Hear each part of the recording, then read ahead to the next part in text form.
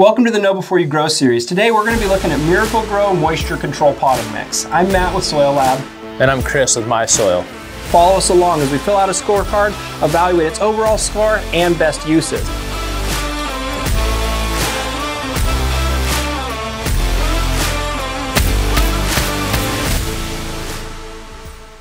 Let's go ahead and jump right in. The first thing as a consumer that I'm concerned with and that I notice is the price. Now, to keep a level playing field, we look at price per cubic foot. And this is the price that we paid, not the price that you might be able to find on a sale. This Miracle-Gro Moisture Control Potting Mix came in at $16.16 per cubic foot. Now, based on the chart we developed, that automatically assigns it a score of six. So Kris and I don't really need to debate this one. So score a six for the price. Now, Kris, as a consumer, what's the next thing that you're gonna notice? Yeah, typically as a consumer, the first thing you're gonna do is open the bag and really, you know, what is the smell of the, the product in the bag? Um, is it off-putting, neutral? You know, what's that smell? And so on smell for this particular product, um, I gave it a seven. Okay, and I was at a six. Maybe we could talk about why. Yeah, um, I felt, you know, it was pretty neutral for the most part, that woody kind of peat smell, but pretty neutral um, overall is what I what I got out. Not off-putting. Yeah, I'd agree with that. It wasn't really off-putting, but I just remember having just a little bit of a non-natural smell. I don't know if that came from the bag itself or from the potting mix, but I, I dropped it down a little bit just because I got a sense of like something that smelled non-natural, and you know that could have been from these polymer-coated fertilizer prills as well.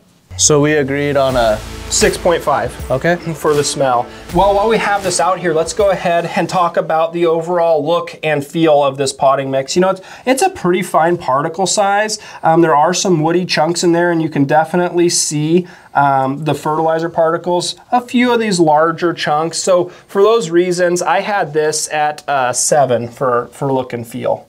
Uh, I rated it at a seven and a half. I mean, I feel like um, you know, it's it's pretty good, but I feel like you might get some splinters or something in your hand if you didn't wear gloves from the bigger woody or debris. But with the peat, yeah, I felt the right about a seven, seven and a half. Okay, well we'll throw 7.25 on the scorecard um, for our for our average.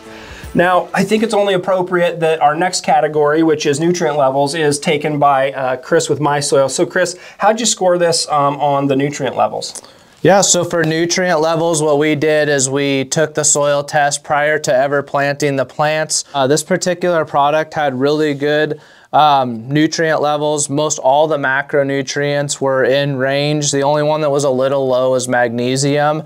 Um, for micronutrients, all our micronutrients were low, which is pretty typical um, with a lot of these soils to be a little bit low, but pH was optimal. So overall, I scored this on nutrient levels as an eight. I was at an 8 also, and the nutrient density score that you get through the MySoil platform had this at about 80% nutrient density, so that penciled and aligned with what we had. I do think it's notable that there's actually a fertilizer analysis on this bag. It's a 0.21, 0.11, 0.16. So less than a percent analysis of NP and K, um, but it is stated on the bag. Well, now that we've looked at price, at smell, at look and feel, and at the nutrient levels, we're always just left with the last question, will it grow? So Kris, what are some of the things that you noted as this grew out over the last six weeks? Yeah, so we did notice, obviously it will grow a plant. Um, we noticed with this particular um, soil that the growth of the tomatoes was much more compact than some of the other ones that it was growing with. Another interesting thing too is um, compared to the other lettuce that was grown nearby, this particular lettuce in this soil was very upright in its growth that you can see here versus more flat like the other ones were.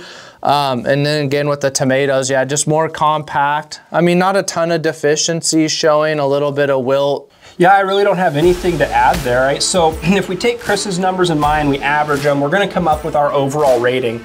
And the overall rating, based on Kris and I's observations for, for this soil, is a seven. Um, so it definitely ranks up there.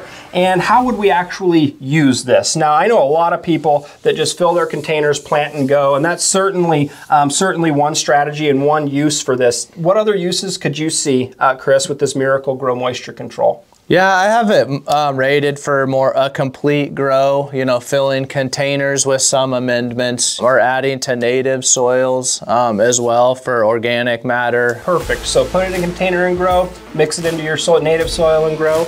Um, hopefully, this information is going to help you make a decision on which potting mix you're going to use this coming up season. Thanks for following along the Know Before You Grow series, and we'll see you again soon.